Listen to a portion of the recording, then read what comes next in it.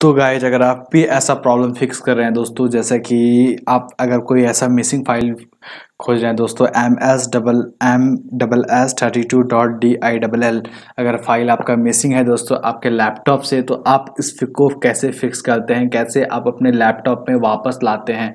देखिए दोस्तों, आपके लैपटॉप में बहुत सारा फ़ाइल होता है विंडो आपका सी में जो कि आपको पता ही नहीं होता है, और उसका यूज़ भी नहीं पता है दोस्तों। लेकिन अगर प्रॉब्लम मिसिंग आ रहा है, इस तरीके से M S thirty two dot D I double L तो कैसे इसको फिक्स करते हैं? तो बिना देर के दोस्तों, इस वीडियो को लास्ट तक देखिए, बने रहिए मेरे यूट्यूब चैनल पर, क्योंकि मैं इस तरह का वीडियो लाता हूँ। दोस्तों, आपको क्या करना है? फ़र्स्ट ऑफ़ ऑल बता देता हूँ। दोस्तों, आपको फ़र्स्ट ऑफ़ ऑल आपको करना क्या है? मेरे चैनल को सब्सक्राइब करके बेलाइकन दाबना है, क्योंकि मैं इस तरह का दोस्तों वीडियो लाता रहता हूँ। दोस्तों, आगे बात करते हैं। दोस्तों, आपको पहले क्रोम ब्राउज़र ऑन करना पड़ेगा। और क्रोम ब्राउज़र ऑन करने के बाद दोस्तों, आपको क्या करना है? तो यहाँ पे सिंपल सा दोस्तों, आपको लिख देना है M S thirty M double S thirty two dot D I double L उसके बाद इंटर प्रेस कर देना है। उसके बाद ऑब्वियसली दोस्तों हंड्रेड परसेंट ऐसा ही होता है कि यहाँ पे एक ऐसा ऑप्शन देख रहे होंगे दोस्तों, आप यहाँ पे लिंक फ़ाइल ऊपर वाला देखिएगा, नीचे वाला कोशिश नहीं करना होता है देखने के लिए।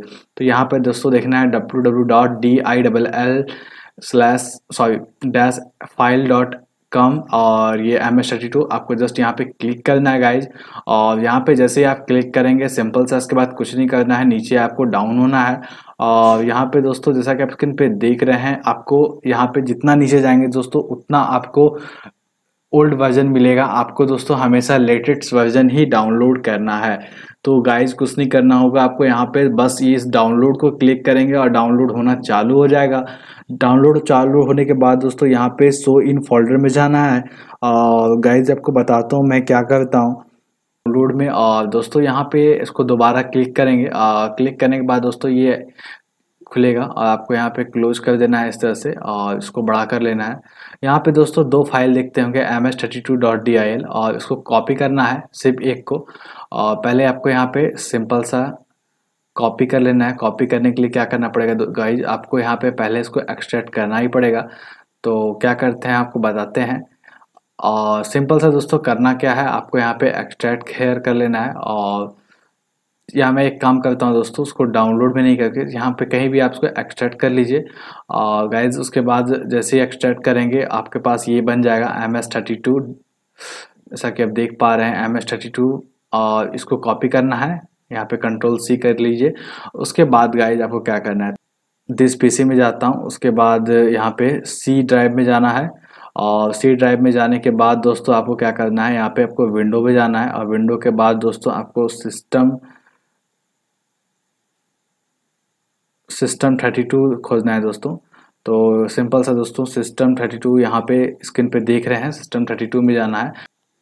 गाइस सिंपल है दोस्तों। आपको सिस्टम 32 में ही कॉपी करना है।